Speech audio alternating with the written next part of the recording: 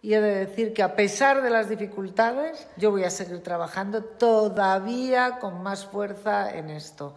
Así que a los que queréis que me vaya, no me voy, me quedo, me voy a quedar, voy a seguir siendo vuestra presidenta y voy a seguir trabajando por todos vosotros.